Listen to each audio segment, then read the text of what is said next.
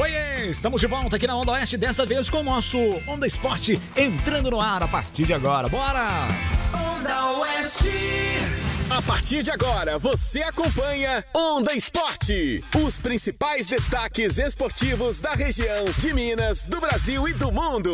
Onda Esporte. Oferecimento Cogil Materiais de Construção em Piuí. Opa, salve, salve, meus queridos e queridas! Hoje, quarta-feira, 30 de novembro de 2022. A partir de agora, mais uma edição do nosso Onda Esporte entrando no ar e chegando até você, trazendo as informações, os detalhes que tá rolando aí nessa Copa no Qatar 2022. Que beleza, hein? Como é bom ficar bem informado. E principalmente aqui pela equipe Onda Oeste Multiplataforma. Mandou meu muito boa tarde pra Roselia Morim, que já chegou aqui correndo, já aqueceu, já tá no clima aí da Copa, pra gente comentar tudo aqui, né, Roseli? É boa isso tarde. aí. Boa tarde, Gabriel. Boa tarde, Mari. Boa, boa tarde. tarde, pessoal. Boa tarde, Roseli. Boa tarde, Gabs. Boa tarde a todos vocês, meus atletas do coração. É isso. A partir de agora, estamos aqui no oferecimento da Cogil Materiais para Construção e Acabamento, que tem para você um crediário facilitado, tem o melhor para sua construção ou para sua reforma, o que há de melhor em tecnologia, você pode colocar aí na sua, na sua construção, na sua reforma, aquele acabamento para ficar perfeito, para ficar sensacional, é com a Cogil Materiais para Construção, né, Mari? É isso mesmo, viu, Gabs?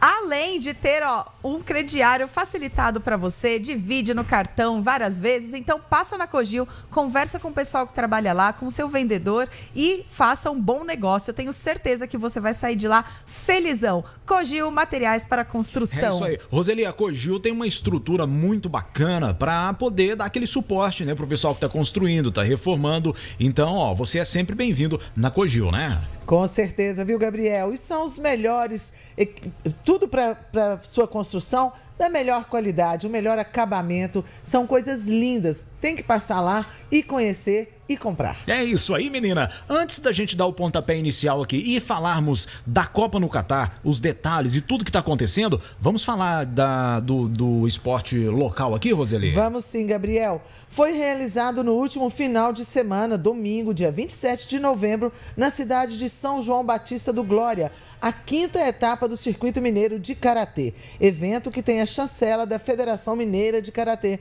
Aproximadamente 300 atletas de diversas cidades do estado de Minas Gerais estiveram presentes no evento. A delegação da academia foi de 29 atletas, dois técnicos e dois delegados de equipe. A comissão piuiense, composta pelos pais e acompanhantes, foi acima de 100 pessoas. A Academia Córeo Can, da nossa cidade, conquistou um total de 24 medalhas. Foram sete medalhas de ouro, 10 medalhas de prata e sete medalhas de bronze. E ao final do evento, é, obtiveram aí a quarta colocação geral. Esse evento marcou o fechamento do calendário esportivo durante o ano de 2022, com um saldo muito positivo para o esporte da nossa cidade. Já em 2023, inicia-se o novo calendário com a primeira etapa do Campeonato Mineiro de Karatê, que será sediado onde? Na cidade de Piuí, pela Federação Mineira de Karatê, Concluiu então o professor Hernani Melo essas informações que ele aí nos passou. Parabéns a todos os atletas da Academia Can aqui de Karatê de Piuí, é, o sensei Hernani Melo e todos os atletas aí. Parabéns a todos vocês que participaram aí desta quinta etapa do Karatê, Federação Mineira aí do Karatê, o Circuito Mineiro de Karatê de Minas Gerais e Piuí fez bonito. Que beleza. Ô, Roseli, eu não, não, não, queria, nem, nem sei como é que, que luta o Karatê e tudo mais, quem sabe eu sei, sei lá, mas eu queria sair bem nas fotos, igual esse pessoal saíram aí. Cadê o Daniel? Coloca aí aquela foto principal, aquela que tá todo mundo junto. Olha pra você ver como é que o pessoal bem aparentado ali. Nossa senhora, bonito, hein? Não é? Ah, Olha ver, só. Ó. Todo mundo bonito. Ei, se eu sair nas minhas fotos bonitas desse jeito aí. É isso Todo aí. mundo com a medalha ali, a maioria. Não, pra você ver que sensacional. Parabéns aí ao CC Hernani e toda a equipe aí, né? É isso aí. Foram 24 medalhas aí para Piuí. Parabéns. E como a gente já trouxe ele aqui, os atletas, né?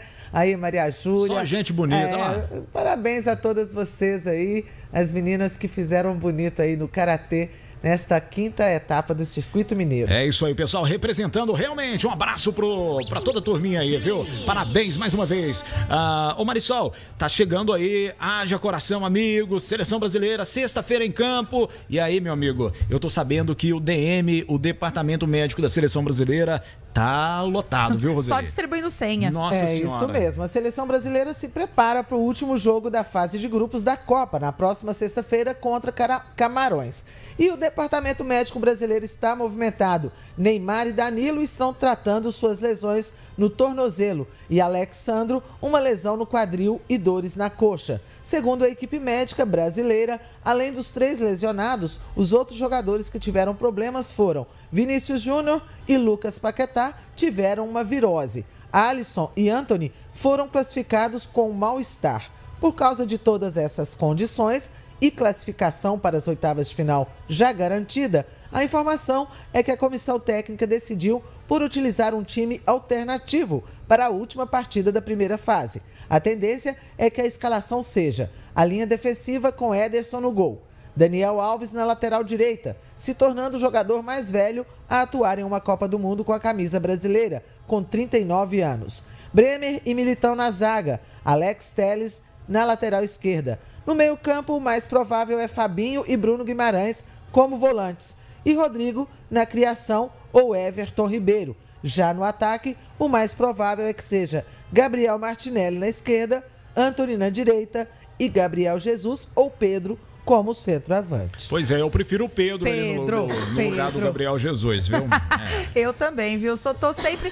Eu não sei porquê, eu tenho um negocinho com, com o Pedro. Eu Um acho que ele negócio- tá jogando muito bem, ele merece uma, uma oportunidade, viu, Negócio Gabs? que a gente não viu o cara jogar pela seleção brasileira ainda, cara. E ele foi um dos nomes aí do, do Flamengo em, nesse, nesse, nessa- nesse nessa temporada do Flamengo aí, né? E se tornando um dos campeões aí junto com o Flamengo. né? Ah, então a gente quer ver ele aí em campo atuando aí. O que, o que a gente quer ver ele jogando, A gente Tite. quer ver, Tite. Ô, Paulo, manda um WhatsApp pro Tite fazendo favor, falando pra ele colocar o Pedro, que a gente quer ver ele em campo. Mas eu acho isso, eu acho que ele é um cara que tá jovem, ele tá fresquinho ali, nunca entrou em campo pela seleção brasileira, tá voando, o cara jogou muito durante a temporada toda. Não custa nada colocar o Pedro ali pra gente, porque a gente já viu no outro jogo outra escalação. É, a gente viu o Gabriel Jesus já em campo. Pois é, já. e ele não teve oportunidade, não foi bem. E eu acho que o Pedro devia ter sim a sua oportunidade. Eu acho que ele ia agarrar com, com toda a garra, sabe? É isso aí. É Outro, isso aí, é um time alternativo, É. né? Que essas les- esses lesionados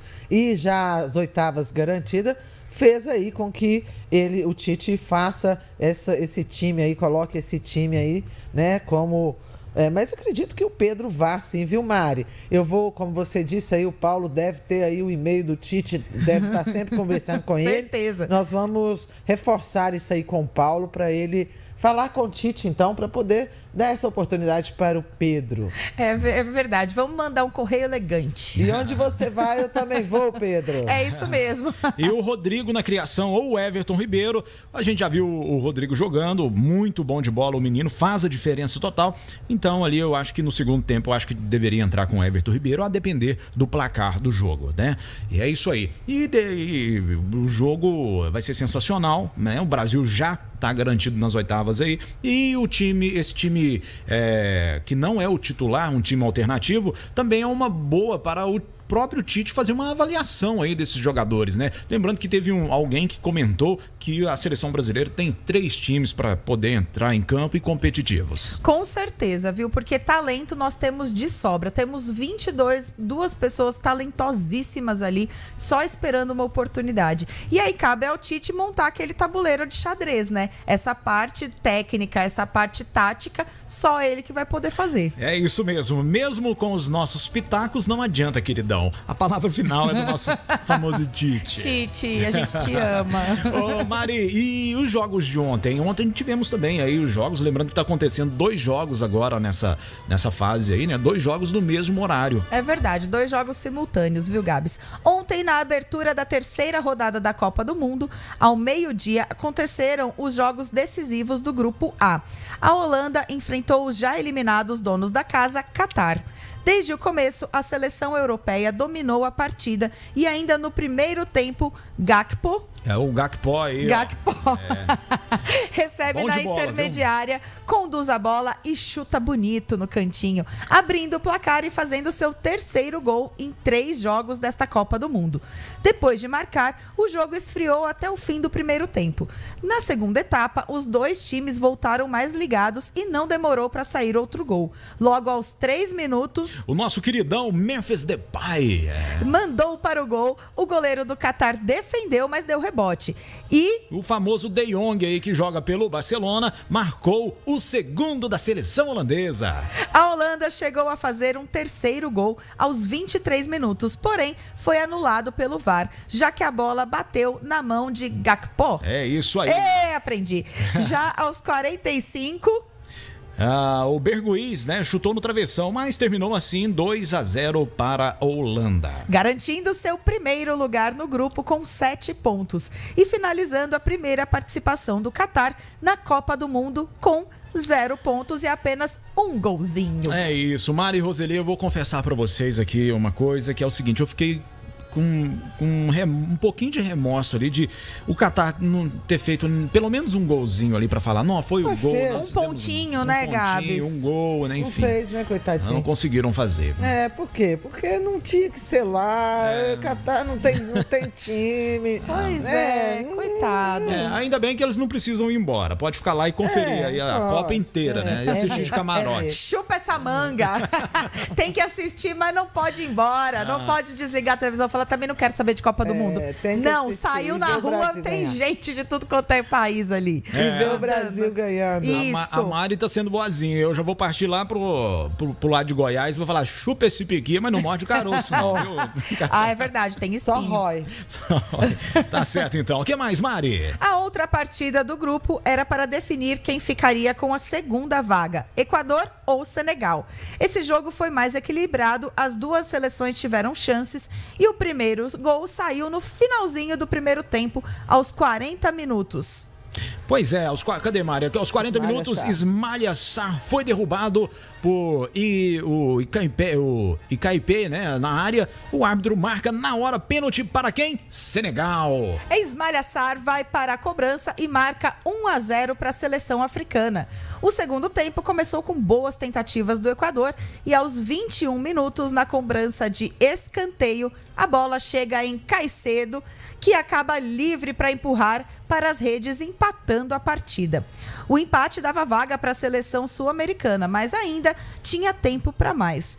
Logo em seguida, aos 24 minutos, O nosso querido Gueye cobrou falta. o artilheiro equatoriano Valência tentou tirar, mas não conseguiu e sobrou. Para o Caulibali aqui, ó, fazendo 2 a 1 para Senegal e garantindo a seleção africana nas oitavas de final pela segunda vez na história. Eba! Adoro esses textos colaborativos, eles ficam Legal. tão E o- maravilhosos. O Caicedo não caiu mais cedo e fez o gol. Ai, É que isso legal. aí, ó, tá Poxa, vendo? Só, corrigi- só corrigindo aqui, é o Icaipiê aqui, ó. O cara que é, é, foi derrubado na área aí, tá? É isso aí. Bacana demais. É a emoção da Copa. São as emoções da Copa, né, Mari? É isso mesmo, né, gente? Ontem teve esse jogaço aí, né? Que foi com o Senegal e tudo mais. E aí. Agora a gente já sabe das próximas fases, o que, que vai acontecer, quem tá com mais pontos, quem já tá ficando pra trás. O Equador foi desclassificado, né? Mari, Tchau. ontem é, tiveram. ah, o, o jogo, ah, se você for olhar em questão de seleção, a Holanda que estava em campo era o jogo que todo mundo queria assistir. É verdade. Só que o Qatar, como já estava eliminado, não rolou aquela disputa, digamos assim. É, foi então, morno, né? Muitas pessoas preferiram assistir esse jogo aí do, do Senegal, que foi um jogo mais disputado, digamos assim, porque tava valendo, Foi, né? é verdade. Tava os dois precisando ali dos pontinhos e tal. E foi um jogão, viu, Gabs? Foi bacana, foi disputado, viu, velho? E é isso. Bom, daqui a pouquinho a gente volta falando pra você a respeito dos jogos, do jogo às 16 horas, né? Foram jogos da série B, da, da grupo B, eh, Estados Unidos e Irã, e a gente traz todos os detalhes pra você, as informações aqui no nosso Onda Esporte. E aí, tá afim de ficar sabendo? Então é só ficar ligado aqui, né, Mari? É isso mesmo, pessoal. Rapidão a gente volta. Intervalo agora e a gente já volta com todas as informações de tudo que rolou ontem às quatro da tarde e o que vai rolar ainda, porque aqui a gente tem uma bola de cristal. Ih, tá rolando o jogo agora, viu? Muito bem, queridão. Por aqui estamos de volta falando pra você a respeito da Copa no no Qatar 2022. Pois é, Roseli, você tá no clima da Copa, menina? Super, super. Hoje eu vou até procurar uma, uma blusa aí do Brasil, uma nova. E pra, porque eu não quero usar que o Brasil perdeu as outras Copas, não. Qual a camisa da seleção brasileira você prefere? É a tradicional amarelinha ou aquela azul? Não, eu não gosto da azul. Não? Não. Acho que ninguém gosta dessa camisa Não azul, gosto, né, Mari? acho que a não. tradicional mesmo, Gente, é o pior é, eu sou meio do contra, né? Porque Sei. eu amei essa camiseta azul. Gostou? O Não, importante é que esteja amarela. escrito Brasil com S. Porque Brasil com Z é Brasil, não É é Brasil, Brasil, gente. Brasil, vamos Pelo amor de Deus, hein? É, show de bola. Mari, e hoje, deixa eu ver, ah, Não, às 16 horas ontem, hoje já tá acontecendo o jogo da França, né? Agora, meio-dia, começaram dois. Mas ontem, não vamos antecipar a parada, vamos contar o que aconteceu ontem pra galera aqui. Isso. Às 16 horas de ontem foram os jogos do grupo B. Estados Unidos e Irã se enfrentaram e quem ganhasse estaria classificado. O jogo histórico, devido às diferenças geopolíticas dos dois países, começou bom. Os dois times mostraram qualidade para chegar ao ataque, porém o desfalque foi para a seleção americana, que teve ótimas. O desfalque não, o destaque foi para a seleção americana que teve ótimas chances. Aos 37 minutos, lançamento para Dest pela direita e toque de cabeça para Pulisic na pequena área mandar para dentro e abrir o placar 1 a 0 Estados Unidos. No último minuto, o EA recebeu o lançamento e fez o gol. Porém, estava impedido por centímetros. E o primeiro tempo terminou assim. A segunda etapa voltou com o Irã marcando alto e tentando chegar melhor ao ataque. E teve boas chances, mas terminou 1 a 0 para os Estados Unidos, classificados, e o Irã eliminado. Tá eliminado. Vai lá Tchau. o- ler o livro do Eli, né, cara? Mais Tchau, um, Irã. mais um com o livro debaixo do braço aí, viu, Roseli? É isso aí. É assim, né? Não jogou bem, não fez, não marcou. Tchau. E posso contar um babado pra vocês? Manda. É, o- os caras do Irã lá, o, o governo iraniano, ele mandou ameaça de morte para os familiares dos jogadores porque eles estavam fazendo um protesto não cantando o hino do Irã. E ele mandou ontem uma ameaça de morte para os familiares dos jogadores se eles não cantassem o hino nesse jogo que começou ontem contra os Estados Unidos. Então você imagina um país entrar um jogador, entrar pra jogar, já, já vendo que a família tá ameaçada, um absurdo que acontece no Irã, gente, principalmente com as mulheres. E é por isso que tá todo mundo protestando nessa Copa do Mundo. E ontem eles cantaram? Tiveram que cantar, né? É, mas perderam, né? Obviamente não deram o melhor, não deram o melhor de si em não, campo como é que aí. você entra com a cabeça, né, num jogo de como. futebol sabendo de um absurdo desse, pelo amor de Deus, gente. Um país maravilhoso, lindo do jeito que é, só que com uma mentalidade assim, infelizmente muito difícil. Pode ser religião, pode ser o que for, mas tudo tem limite. Tudo, Tudo. ultrapassa. Quando, quando você ultrapassa o limite do outro, você já tá errado. Não pode. É Pois isso é. aí. É isso aí, Mário. Outro jogo para fechar o grupo B foi entre País de Gales e Inglaterra. É isso mesmo. O primeiro tempo começou com a seleção inglesa dominando as ações. Somente a Inglaterra conseguiu jogar. Na primeira metade do jogo, 75% de posse de bola da seleção inglesa contra 25%. É muito pouco, né? Apenas uma finalização para Gales e 7 para a Inglaterra. Porém, o primeiro tempo terminou sem gols. A segunda etapa voltou quente. Aos 4 minutos, O, Rashford Ra- o Rashford foi lá e marcou. cobrou! Bela falta direto para as redes, abrindo o placar. Apenas oito segundos depois, Phil Foden É, o Phil Foden é novinho esse cara aí, muito talento em uma pessoa só. Grande Phil Foden, acho que ele joga pelo ah, o Chelsea, viu, o Mari? Agora tá aí na seleção. Pois é, ele recebeu um cruzamento de Harry Kane e empurra para o gol, fazendo 2 a 0. E a Inglaterra ainda tinha apetite. Aos 22 minutos, Rashford recebe o lançamento de Phillips e de esquerda corta o marca- marcador e chuta por baixo das pernas do goleirão. 3 a 0 para a Inglaterra. E Rashford empata com Mbappé, Valência e Gakpo, com três gols na artilharia da Copa do Mundo. E terminou assim. 3 a 0 para a Inglaterra, líder do grupo, classificada e Gales eliminado da Copa do Mundo. É, Garrett Bale, mais uma vez, né, queridão? Não deu pra você. Não É, deu. É isso aí. Mais um com o livrão aí embaixo do braço, o famoso livro do Eli. Eliminado. Eliminado. É, mas isso aí já estava previsto, né? Inglaterra é um, É um time bom, time bom. Mas na Copa da Zebra, né, a gente É. nunca sabe. É. Vai que. Nessa Copa aí, realmente o camelo está pintado, viu, Mari? É verdade, de zebra. É, de zebra. Preto e branco. É isso mesmo. Com os resultados dos grupos A e B, os dois primeiros confrontos de oitavas de final da Copa estão definidos. Serão entre Inglaterra e Senegal e Estados Unidos e Holanda. Dois jogão, hein? Eu acho que Jogaço. vai dar Inglaterra e Holanda. Eu também tô achando, viu? Mas se der Senegal, eu vou gostar bastante. De verdade, vou adorar. Quem quer agora, já aí na- na- nessa fase de grupos aí, com dois jogos durante o dia e tudo mais, a- as oitavas já vão se concretizando ali. Quem que vocês acham que, nesse meio tempo aí, é a favorita ao título? Brasil. Brasil. Tá certo, Não, vou te então. falar, eu tô com muito medo da França. Eu também. Eu tô, Eu tô com, com bastante medo da França, da Espanha também. eu tô com medo da França e da Espanha. Só esses dois. Não, É. vai, vai a Inglaterra dar eu não sei também, vai viu, dar um neles lá. Não sei qual é que é, viu, a da, da Inglaterra, não. Por enquanto ainda não, não tenho. Mas eu acho que eu tô com bastante medo da Espanha e França. A França eu já fiquei sabendo que se o Brasil for pegar é só na final, né? É. Surpresa desagradável, tipo Kinder Ovo. É, isso aí. Ou também, e a Espanha a gente talvez pegue nas quartas, não é isso? Se eu não me engano, talvez nas quartas. Então, gente, são duas pedreiras pro Brasil aí, viu? É verdade, viu, Mari?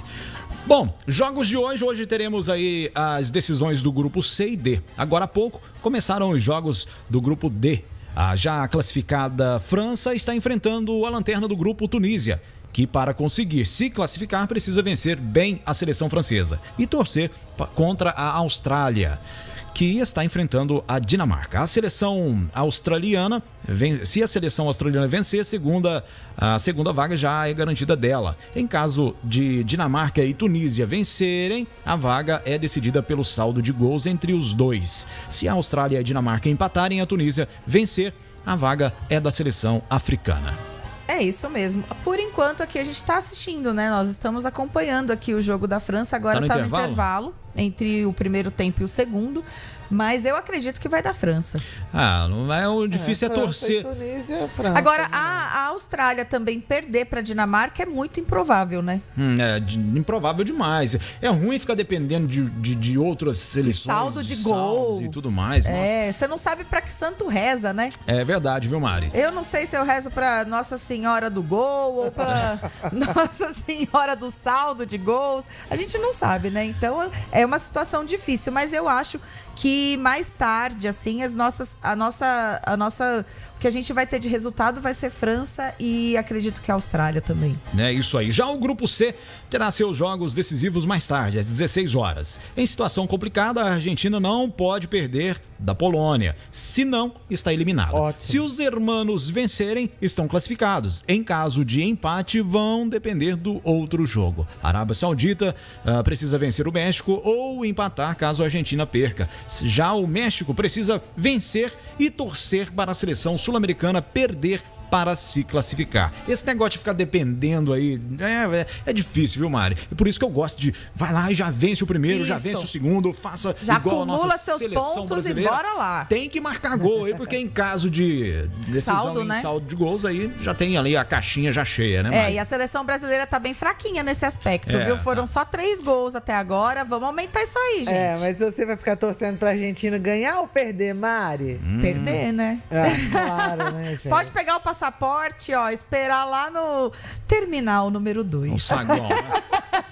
Vai pro saguão aí. É isso aí. E vamos falar então dos jogos de amanhã? Bora lá então, Roseli, antecipar pra galera aqui alguma coisa. Isso. Amanhã serão as partidas decisivas dos grupos E e F. Meio-dia, pelo grupo F, a líder Croácia enfrenta a Bélgica. E se vencer ou empatar, está classificada. Já Marrocos enfrenta o já eliminado Canadá. Também se classifica se vencer. Em caso de empate, tem que torcer para a Bélgica perder ou empatar para ter a vaga.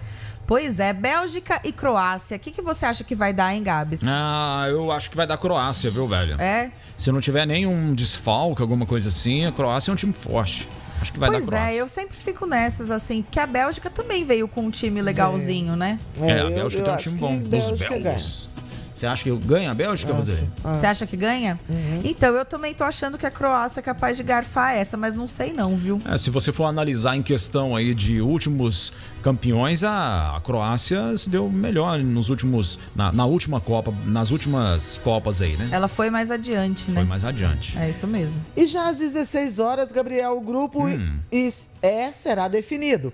A líder Espanha enfrenta o Japão. Se a seleção europeia vencer ou empatar, está classificada. Se perder, tem que torcer pelo empate no outro jogo, que é entre Costa Rica e Alemanha. A Costa Rica precisa vencer para passar de fase. Se empatar, precisa torcer para a Espanha vencer. Já a Alemanha, para se classificar, tem que ganhar seu jogo e torcer para o Japão perder. Ah, Japão, tô torcendo tanto por vocês. Eu aí. também, gente. É, mas eu não acredito. Eu acredito que vai se classificar a Espanha e, e- e a Alemanha. É, eu também, mas eu queria que o Japão fosse, viu, gente? Peguei amor no Japão depois que ele, que ele ganhou da Argentina. É. É, os olha. argentinos estavam falando aí que é difícil marcar o Japão homem a homem, porque eles são todos iguais. Mas agora tem que ver que a Argentina está bem aquém do, do time da Espanha, né? Que tá... Com certeza. Então não vai ser um jogo fácil para o Japão. É, pode dar aí a zebra preto e branco, pode aparecer aí, né? E o Japão ganhar. Será onde Vamos é que eu ver. acho uma camisa do Japão aí pra, pra comprar, hein, pessoal? Se você quiser, eu posso pintar em você. É só uma bolinha É, uma vermelha. bola vermelha pronto. Morreu Bahia. Tá certo, então. Pessoal, espero que a gente tenha enriquecido o seu conhecimento aí e também, né, a respeito aí da Copa. As informações. Muito obrigado pelo carinho de todos vocês aí. Você que é ouvinte e espectador aqui da nossa Onda Oeste através do rádio e também das nossas plataformas. Obrigado mesmo de coração. Muito bom ter a companhia de vocês e também de trazer as informações para vocês aqui através do nosso programa. Roseli Amorim, mais uma vez, obrigado pela presença aqui e pelas informações também. Falou, Gabs, eu que agradeço. Um abraço a você, Mário, um abraço, obrigada. E a todos que estão aí do outro lado nos acompanhando. Valeu, até amanhã, meio-dia e meia. É isso aí. Obrigada, Gabs, pela companhia. Valeu, Roseli. Muito obrigada a todos vocês que participaram, que fizeram o nosso dia melhor. Um grande beijo. Amanhã nós estamos de volta às 9 horas da manhã. Coloca esse celular para despertar. É isso aí, mais um Onda Esporte aqui com Gabriel Anderson, eu e também Roseli Morim, Marisol e ali na redação o